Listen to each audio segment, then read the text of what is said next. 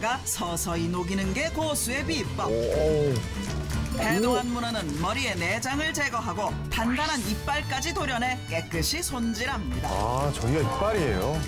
주말 오. 기준 하루 두시간 이렇게 쪼그리고 앉아 약 300마리의 문어를 손질하는데요. 와, 300마리.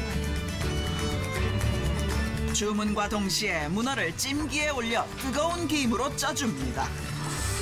그런데 갑자기 확 상에 찌니까. 들어가는 문어는 삶지 않나요? 오, 그래요. 하보면 질겨진다고 하시더라고요. 무슨 방법이 없을까 이렇게 맞아요. 찾다가 질겨져요. 160도 고온에 순식간에 쪄내는 방법을 이제 개발하게 됐어요. 빠르게.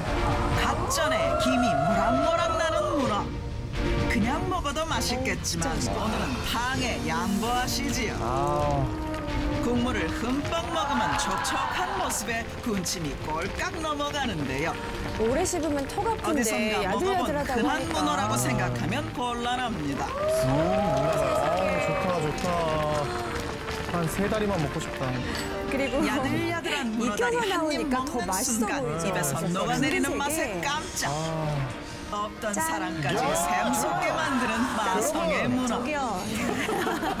다른 데서 먹으면 문어가 굉장히 질기거든요. 평소에는 안 먹는데 여기는 문어가 아주 부드럽고 맛있어서 자주 먹는 편이에요. 야, 아주 부드럽다. 짱이에요. 문어를 찌는 것이 맛의 관건이기 때문에 고수는 하루 대부분을 찜기 앞에서 보냅니다. 음, 이건 또 그런데 뭐예요? 이때 고수의 수상한 행동 발견. 이게 뭐죠? 웬 수증기? 붉은색의 물을 봤는데요. 간장 같아. 이게 문어를 찌고 나면 거기서 나오는 문어 진액입니다. 대체 문어 진액을 받아서 뭘 하려는 건지 먼저 대박집을 찾은 손님들에게 공개했습니다. 사장님이 드시나? 건강 생각해서. 어, 뭐예요? 그래서 이 국물이 아주 시원하고 담백하고 뭐 진액을 넣기는 넣으시는 것 같은데. 아니 문어를 찔 때 흘러나오는 진액을 알뜰살뜰 모아서 냉장고에 넣고 약 24시간 숙성을 거치면 몰캉몰캉 젤리처럼 굳어지는데요. 오, 정말 바로 이것이. 문어 전복탕 국물 맛의 핵심. 이렇게 돼요. 물에 무, 양파, 팥뿌리, 대파, 마늘에 비법 문어 진액까지 넣어준 후 와. 팔팔 끓여내면 진한 감칠맛 나는 국물 완성. 부풀 수밖에 없겠네요. 네. 비법을 연구하며 오. 최고의 맛을 찾아가는 진정한 고수이지만 처음에는 요리의 요자도 몰랐습니다. 중소기업을 워낙에 오래 하다가 어, 뜻하지 않은 화재로 60억 정도 되는 저 전재산이 화재로 소실이 된 거죠. 아유.